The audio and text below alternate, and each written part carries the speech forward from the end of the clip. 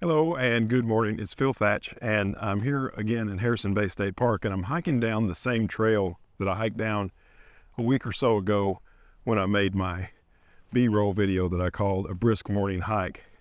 And that was the first time I'd ever walked down this trail. And that morning, as I was walking down this trail, even though I was wearing a bright yellow jacket, which I thought would be good for that B-roll video, I came ac- across a thrush might have been a wood thrush, might have been a hermit thrush, but it was only like 20 feet away. I'm sitting here with no camera except for my phone, which I made that entire video with, staring face to face with a wood thrush or a hermit thrush, which both of those are birds that I don't get to photograph very often. And so I said, you know what, I'm going to come back this morning and see what birds I can find. Now, I'll probably hike this entire trail and not see a single bird. That's that's my fear. So I also have in my backpack, I also have some landscape photography gear. So if I make it down to the very end of the trail where I turned around on my first hike of this trail and don't see any birds that entire time, I'm going to make a little uh, landscape photography photo of that little bay that I saw. So anyway, I've got options today and let me get to it. Well, I've already hiked further down the trail than I did when I made my brisk morning hike video. And by the way, it's about 20 degrees warmer today. It was 26 when I made that video, and today it's 47 Fahrenheit. So still jacket weather, but not blowing uh, steam weather. Anyway, haven't seen or heard any thrush, but I did get a picture of a bird that I often photograph, the Carolina wren. Here is the first bird of the day, and at the time I was making this photograph, I didn't realize that I was actually going to like the photograph quite a bit. As a matter of fact, you'll hear me talk in later clips in this video how I didn't think the photo was very good, but I like this little Carolina wren photograph. I've also seen a lot of Carolina chickadee. I mean, a lot, like a flock of 10 bouncing around, but I don't think I got any decent shots. And I've been trying to get a shot of a ruby crown kinglet and I think I might have gotten one that's close to decent, but I don't think I've gotten a good one.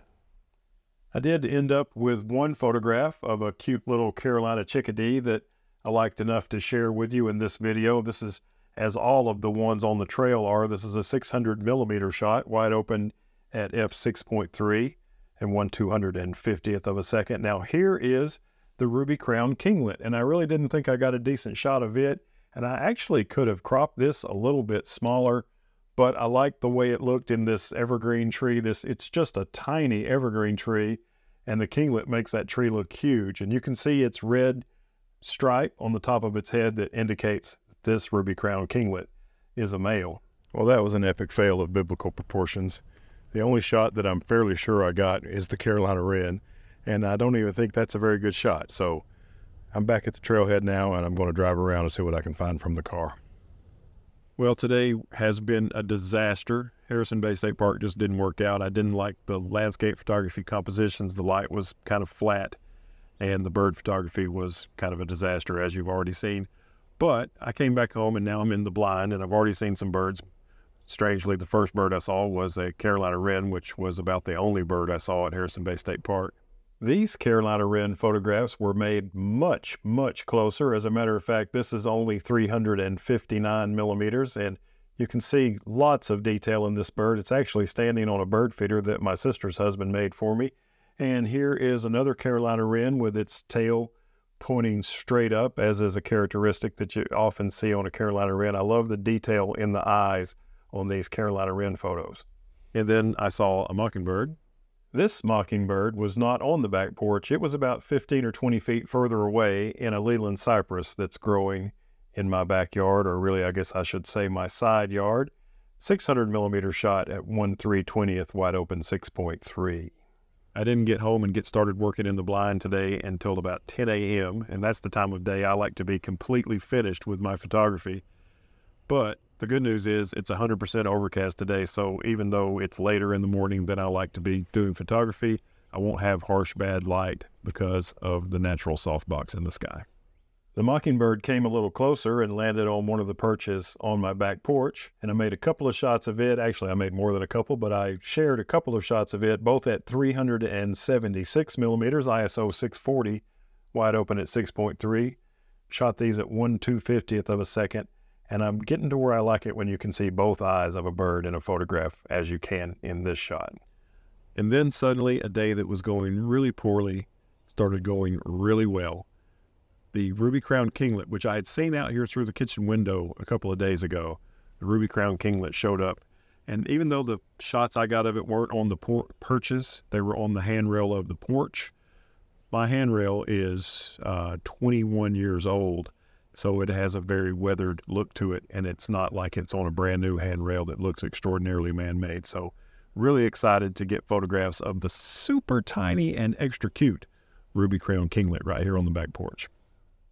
Even though all of these shots of the ruby crown kinglet were on the handrail, I was still super happy to get them. This is one of my favorite birds, just amazingly cute, and they don't stay put any place for very long, usually less than a second if you can get one to land someplace.